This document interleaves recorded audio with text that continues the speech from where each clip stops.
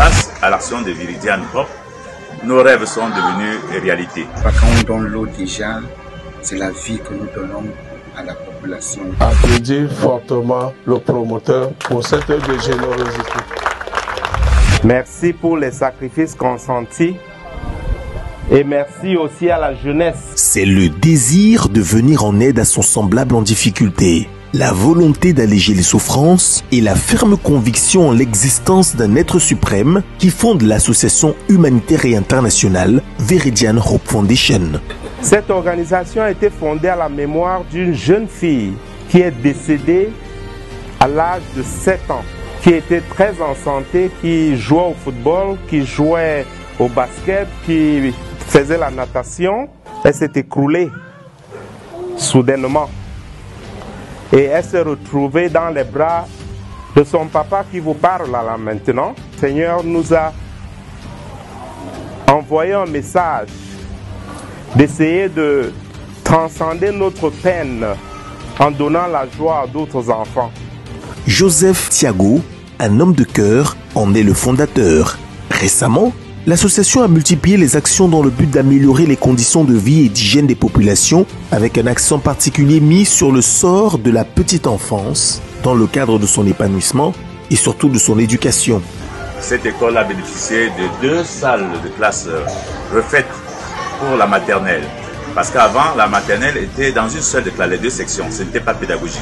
Aujourd'hui, chaque section est dans sa salle. Des salles magnifiques, colorées. Et les enfants sont très contents. D'importants dons financiers et une grande ressource humaine ont été mobilisés pour l'acquisition et la remise d'un matériel didactique de qualité, la construction de latrines décentes et de points d'eau pour l'approvisionnement en eau potable. Et puis en plus, l'eau c'est la vie. Donc on a le problème d'eau dans notre pays, le problème d'eau à Numelon.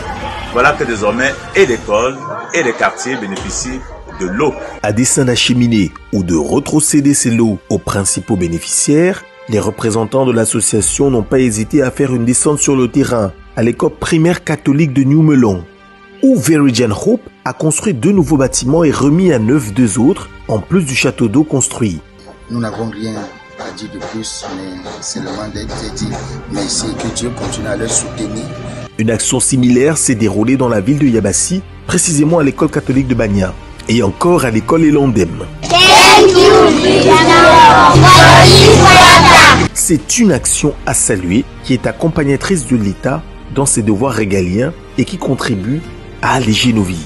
Ce sont donc, en résumé, les établissements École catholique New Melon, École privée de Elomdem à Yaoundé et l'École catholique de Banya à Yabassi qui ont reçu des dons de construction de salles de classe, de création de forages d'eau potable, de dons de tables, bancs et fournitures grâce à Veridian Hope Foundation.